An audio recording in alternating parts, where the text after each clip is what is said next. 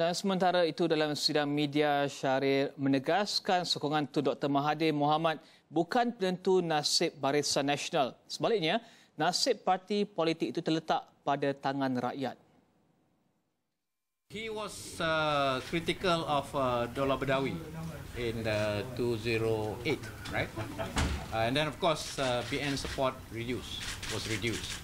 But in 2013, he was on the side of BN. It still was reduced. So, do you think it's relevant? So are you trying to say Tun Dr. No, I'm not. I'm just giving you the facts. So you you use those facts. Right? Syahrir diminta mengulas sokongan rakyat terhadap BN yang berdepan pelbagai cabaran ketika ini.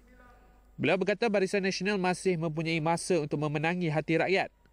Katanya berdasarkan pencapaian Barisan Nasional pada beberapa pilihan raya umum yang lalu, parti tersebut masih menjadi pilihan rakyat walaupun berdepan pelbagai cabaran pada masa itu.